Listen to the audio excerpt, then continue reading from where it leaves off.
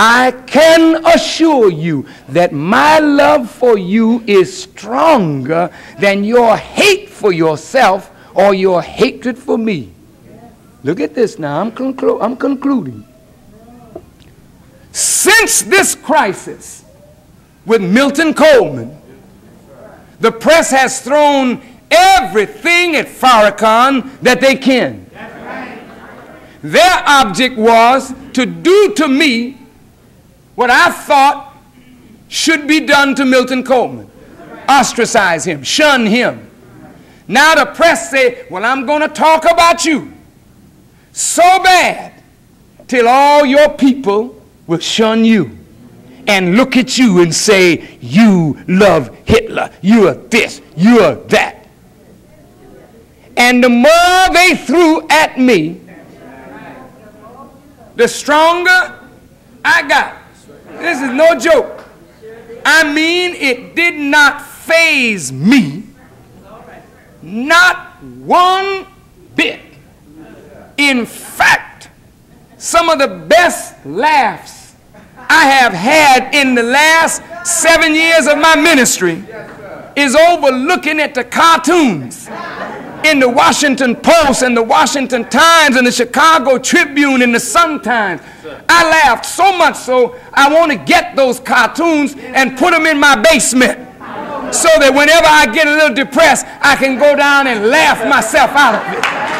You understand? Look, brother. Now they see that their first volley did not affect me. Do you think they're going to lay down on the job? What do you think they're going to do? Oh, they got another volley warming up now. Ain't that something? They went all the way back into my past. Went into Boston and dug up my old black friends and my old white acquaintances. What was he like when he was young? When he was on the track team did he show signs of being a racist or crazy or? I'm telling you the truth. And everywhere they went, they couldn't hardly find nobody to speak evil of the young man.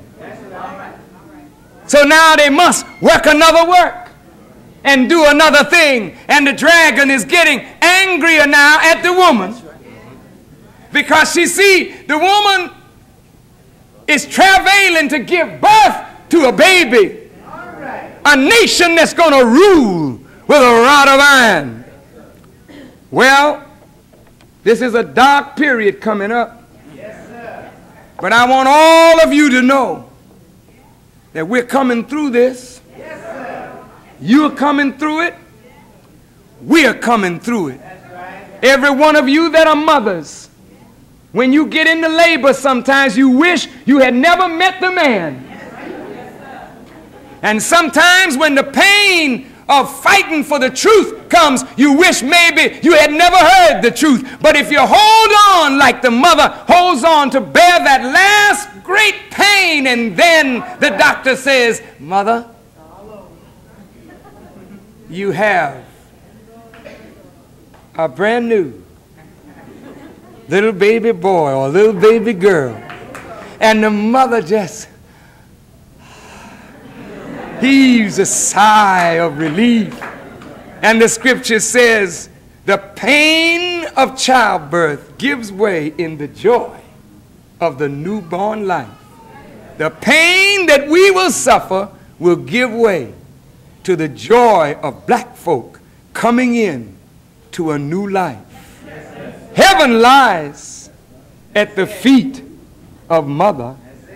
Holy Mary means a people who are going to be made holy, and from that people, they are going to produce children that will be gods and rulers, fulfilling the scripture. I have said that ye are all gods, children of the Most High God. Heaven is at the foot of the mother, Holy Mary. Yes, the mother of a nation of gods that will rule the world in peace, righteousness, freedom, justice, and equality forever. Thank you for listening as I greet you in peace.